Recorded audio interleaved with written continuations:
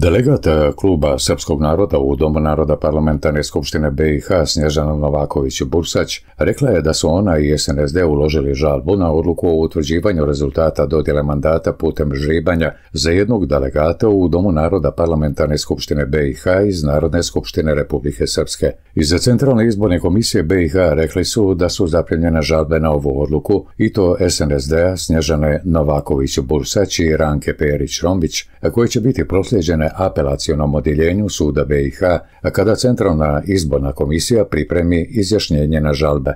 Apelaciono odjeljenje suda BiH ima rok od tri dana od dana prijema žalbi da po prijemu odluči, naveli su iz Centralne izborne komisije za Srno.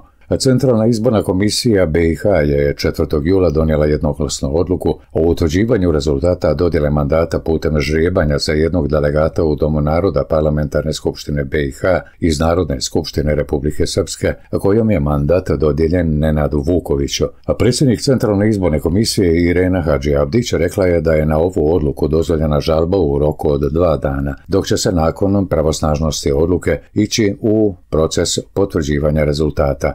Centralna izborna komisija BiH je 1. jula mimo svih zakonskih procedura dvije godine nakon legalno i legitimno provedenih izbora izvukla iz bubnja kandidatsku listu PDP-a na žrebanju za dodjelu mandata iz reda srpskog naroda iz Republike Srpske u Domu naroda parlamentarne skupštine BiH.